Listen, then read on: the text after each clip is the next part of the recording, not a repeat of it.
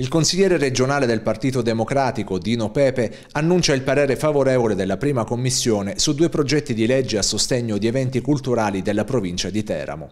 Pepe ringrazia il Presidente del Consiglio regionale Sospiri e i consiglieri Paolucci, Mariani, Quaresimale e il sottosegretario D'Annuntis per la piena condivisione dell'iniziativa legislativa. Voglio ringraziare i tanti colleghi, in maniera particolare il Presidente Sospiri che ha raccolto il mio invito per il finanziamento di questi due importanti progetti culturali per la provincia di Teramo e per l'intero Abruzzo. L'uno per finanziare il premio di Venanzo. Siamo quest'anno alla 24esima edizione di questo importantissimo premio che riguarda la cinematografia per questo voglio ringraziare Teramo Nostra che è l'associazione che organizza questo premio da 24 anni. E poi abbiamo inserito un altro provvedimento per finanziare l'associazione Pigro, quello che ricorda ogni anno Ivan Graziani e su questo tema abbiamo investito, abbiamo finanziato 8 mila euro. Poi i provvedimenti passeranno alle altre commissioni e ci auguriamo presto l'approvazione definitiva in aula.